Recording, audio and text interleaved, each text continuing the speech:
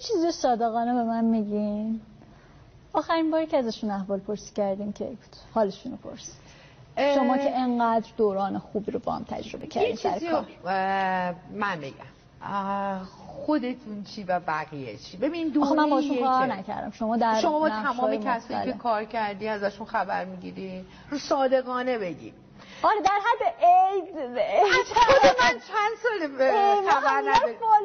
داریم فالو داریم خب ولی ببین این دیدن اولا در مورد آقای نه دیدن نمیگم آقای که حالشون رو بپرسید آقای اویسی اگر بشناسینشون از نزدیک خیلی در آدمی که اون جدی بودن همیشه تو رفتارشون بود. یعنی اینکه خیلی استقبال از این قضیه نمی‌کردن که تو جرأت بکنی زنگ بزنی. من دو سه بار آره همکاریم و اینکه هم دوره هم سن نیستیم که می‌دونی؟ مثلا شما زنگ می‌زنی به حالا همکاری که 20 سال ازت بزرگتره مثلا میگی سلام چطوری فلانی؟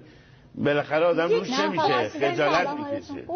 یک فاصله رو خود آقای اویسی خیلی چیز نمی‌کنم و نمودن یه مدتی. من یکی دو بار توی چون تو محل مشترک بودیم توی سوپرمارکت دیدمشون و اینا یک کمی احساس کردم که انگار خیلی هم چیز نبودن. حالشون خوب آره خیلی راغب نبودن که مثلا بخوایم زنگ بزنیم. اما این توی این دوره ای که این اتفاق میفته شاید من خیلی به هم زنگ زدم برای مصاحبه که صحبت کنیم و اینا.